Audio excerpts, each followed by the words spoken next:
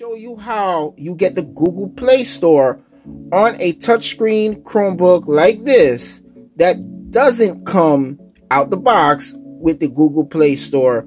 You can add it on. Now, this Acer Chromebook R13 has been pleasantly surprising to me how this is able to hold up with the work that I put Chromebooks through. It does pretty good. Um, Acer did a good job with this Chromebook.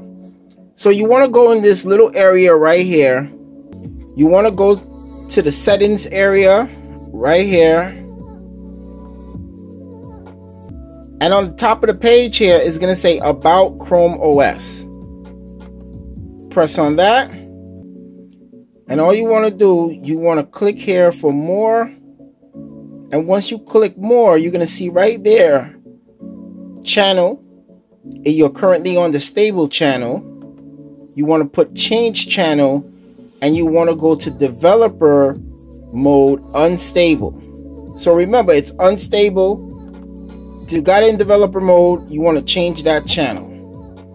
And it's that simple. That's how you change the channel to get that Google Play Store.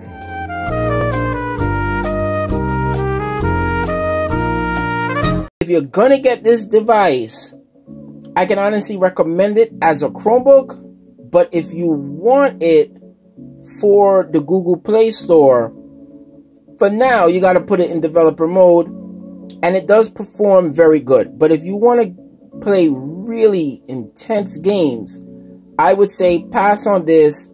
So they're going to ask you to restart it And that's how fast it boots up. It just takes a second. The time it took me to adjust the camera is the time that it reboot. Let me put my code in. It kept all the Chrome extensions that I had open, which is good. Let's get this on full screen. And if we look down here, we got the Google Play Store. So with the Google Play Store installed,